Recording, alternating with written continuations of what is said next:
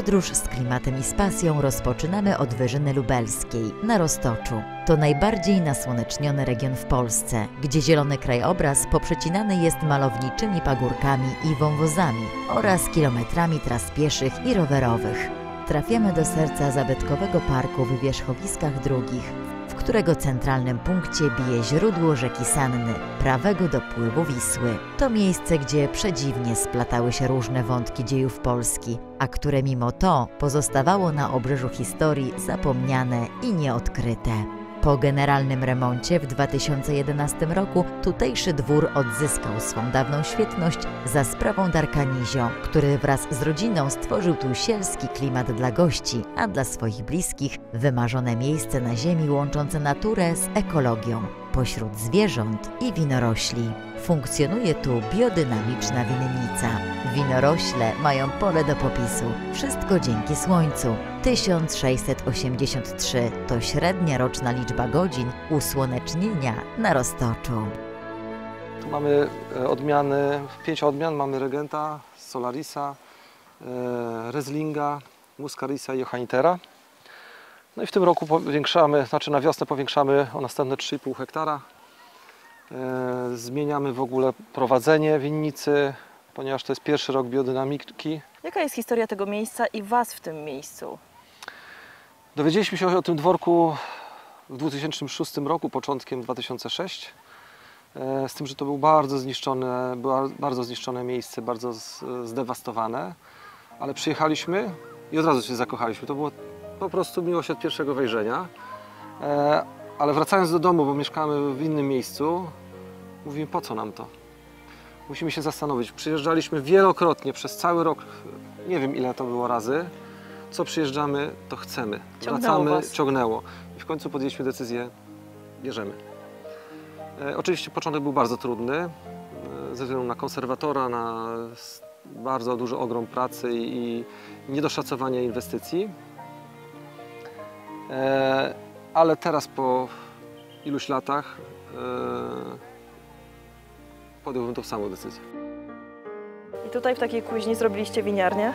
Tak, to kiedyś była stara kuźnia, ale nie mieliśmy co kuć. No to stwierdziliśmy, że nie będziemy nowego budynku budować e, i stwierdziliśmy, że bardzo dobrze się e, nadaje na e, winiarnię. Ja Wam pokażę w ogóle, żebyście poczuli klimat biodynamicznych. No proszę bardzo, na przykład. Mamy totalnie naturalne wina, niefiltrowane. Zobaczcie. Jak przekręcimy, to mamy. To jest wino. A chcemy je czyste, czekamy, sendymentuje się naturalnie, powoli schodzi to wszystko i mamy czyściutkie wino.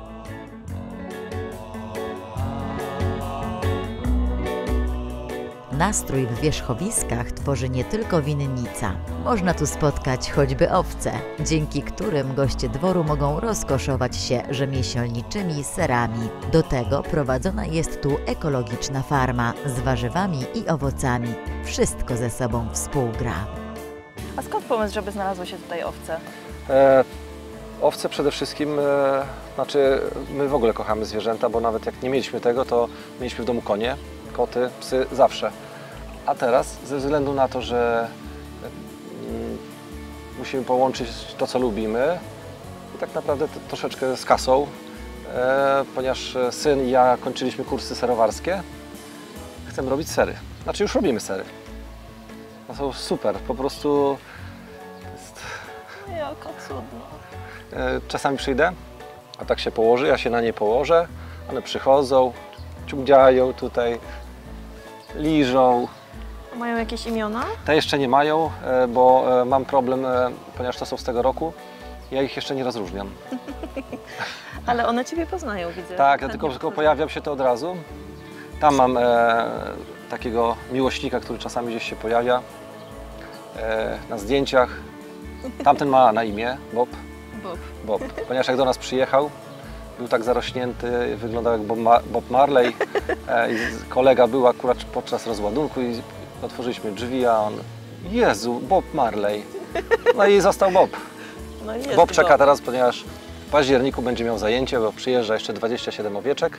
O, będzie miał co robić. O wyzwanie przed nim. Tak, wyzwanie, także go na razie musimy ograniczyć, bo on bardzo chce, ale musi, musi trochę być cierpliwy. Są przecudowne, to są takie zwierzątka, że po prostu ja nie spodziewałem się, że owce są tak przyjazne. Ta, ta rasa, nie wiem jak inne, A jaka to jest rasa? wschodniofryzyjska. O, cześć.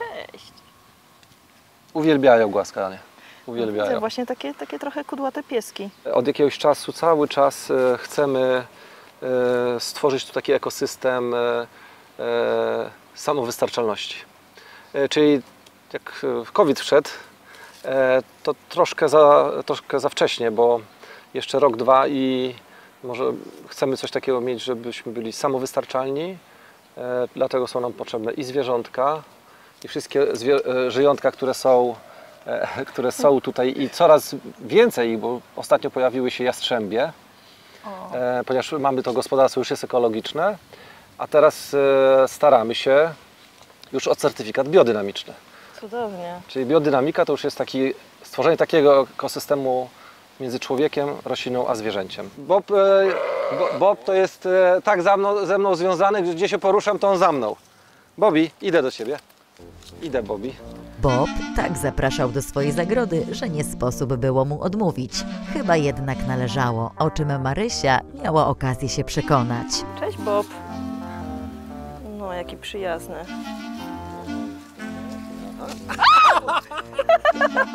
Nie, nie, nie!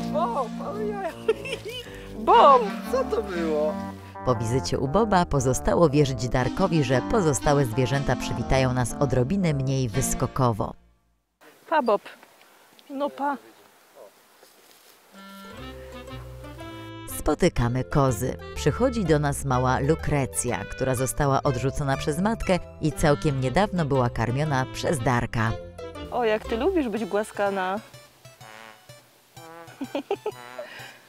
O, już przychodzą kolejne. Druga młoda też przyszła. Chodź. No nie ma zagrożenia. Pasją i miłością Darka są konie, które swobodnie spacerują na terenie w pobliżu dworu. No chodźcie.